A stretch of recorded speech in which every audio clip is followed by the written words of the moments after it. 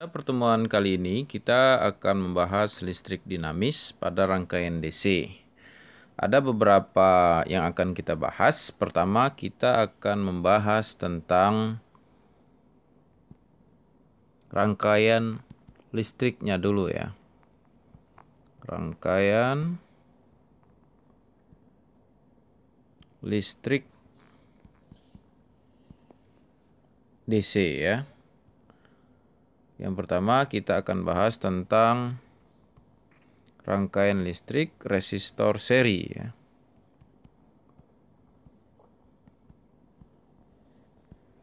Rangkaian listrik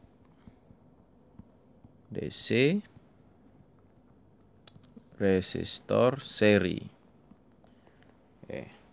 Apa itu resistor ya? Resistor itu hambatan listrik resistor hambatan listrik. Ya hambatan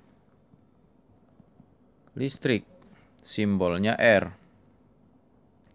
Jadi resistor itu simbolnya R. Kalau dalam, dalam rangkaian listrik digambarkan seperti ini. Nah, diberi tanda R gitu ya. Karena terangkai secara seri maka nilai R ya. R seri itu sama dengan R1 ditambah R2 ditambah R3 ditambah seterusnya. Kalau digambar bentuknya seperti ini. Nah ini R1 ada R2 ada R3 nilainya misalnya R1 ini 1 ohm R2 nya 1 ohm R3 nya 1 ohm.